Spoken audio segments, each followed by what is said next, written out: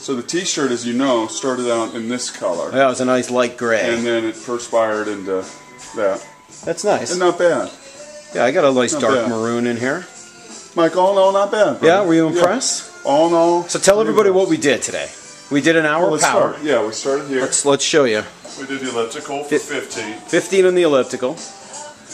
We did the Brett Favre mile, which you loved. Brett Slightly Favre mile. Tell, tell people what that is. Sli- slightly profane at the end of the mile. Well, it was weird. I was trying were to be like Brett Favre. I was just throwing a Tracy Porter. And I had him in my mind's eye. you were dog cussing Favre at the end. Four miles an hour. Yeah.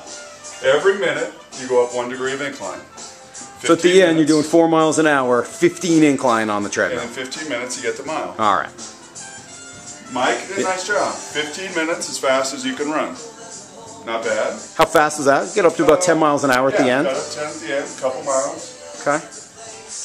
This one hurts you. Yeah, I don't do this a lot. This one, the thighs. Yeah.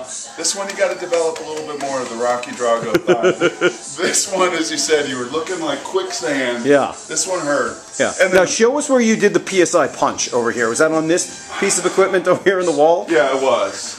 you know, I came at 2,200 pounds per square inch. You know, and I What does that look like? Yeah. Start there. Yeah.